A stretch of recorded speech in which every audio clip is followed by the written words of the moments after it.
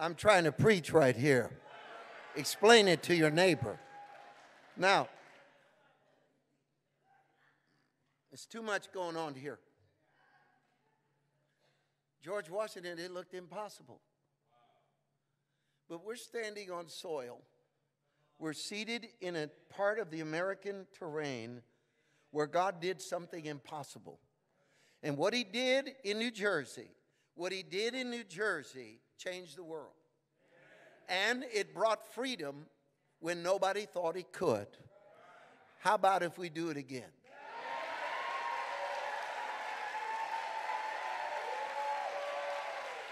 Are you ready?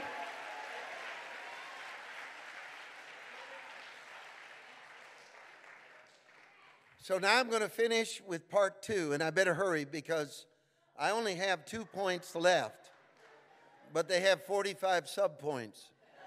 So, no, I'm going to I'm going to hurry. God's going to protect your lunch. How many of you believe we got something more important going on in this room than lunch? The Bible tells us in 1 Samuel 13 5 that the Israel became hated in the eyes of the Philistines, and they sent an army that you couldn't number. It says it was uh, the, as much as the sand on the seashore in number. Meanwhile, Saul had just become king and made his first mistake. He was only in office less than a year before everything fell apart. No, I'm sorry, I just read a modern headline by mistake.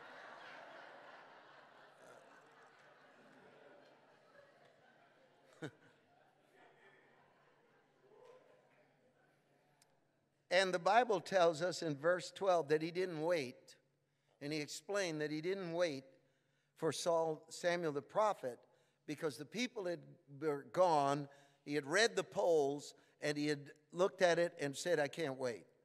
Now, therefore, the Philistines had already set up their system of attacking Israel by banning weapons. It says in verse 19 that the forges were closed and there were no swords in Israel because the blacksmiths had quit being blacksmiths. They were getting checks in the mail and said, It's easier for me to stay home than to make swords. How are these things keep slipping into my mind?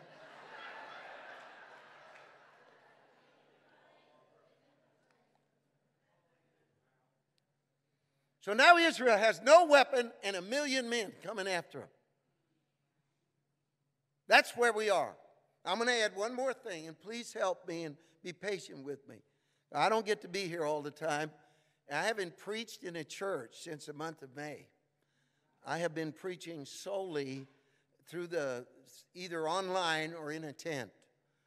So I don't get to do this too often. How many of you don't mind if I keep going just now? Do you? Don't don't get don't get mad at me.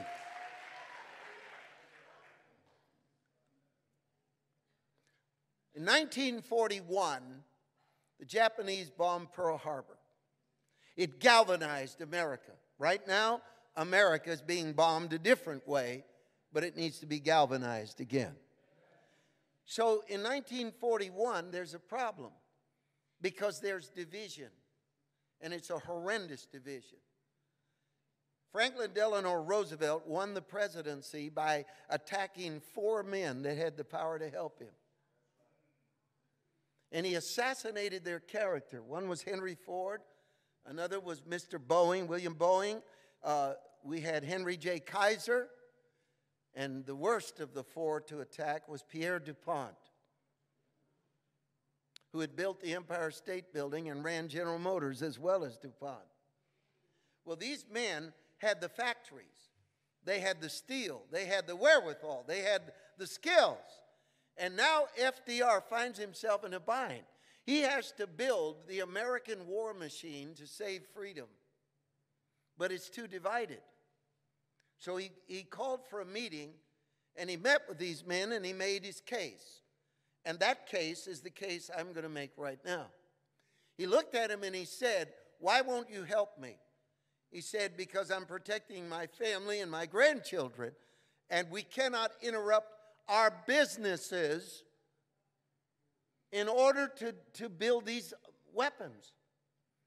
And he said, You will have no business.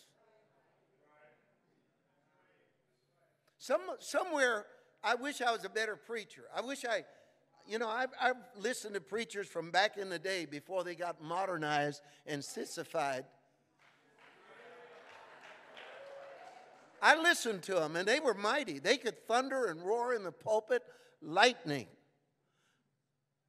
I wish I was one of those men. I really do. I wish I could stand here and look from heart to heart and tell you that FDR looked at those men and said, Hitler will not let Ford Motor Company exist. The Japanese imperialist army will, they're not going to allow it to exist. This is about your grandchildren. And I'm looking at you right now. This isn't even about you. It isn't even about if we get to have church. It's about the world that we're going to leave for our children. And I'm telling you that I'm looking at Satan and all of his minions, and I'm telling them, you are not going to have the United States of America. You are not going to get this country. You are not going to control us. You are not going to stop us.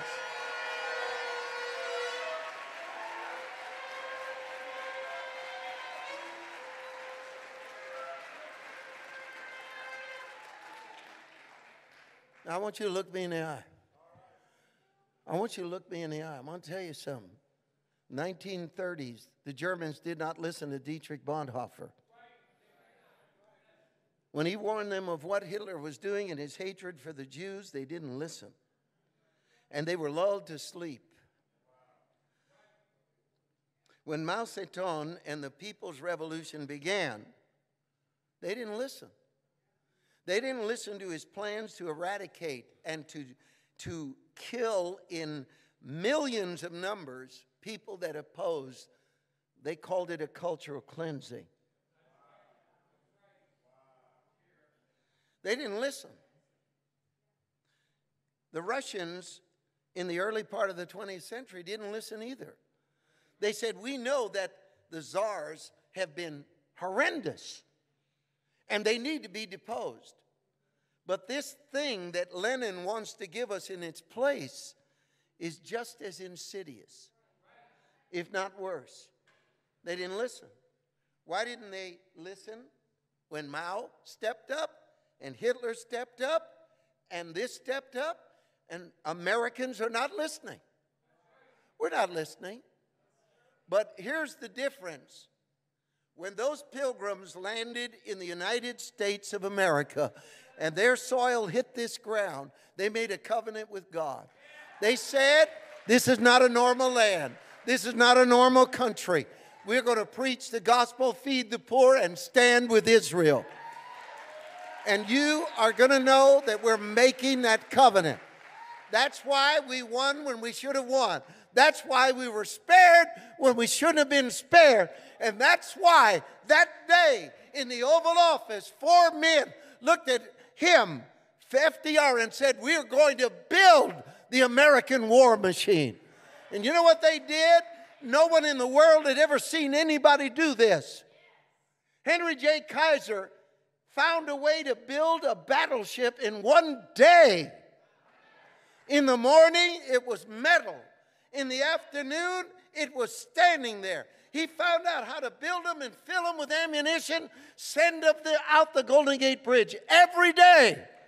Oh, Henry Ford wasn't to be outdone. He said, I'm going to build a B 25 bomber every hour.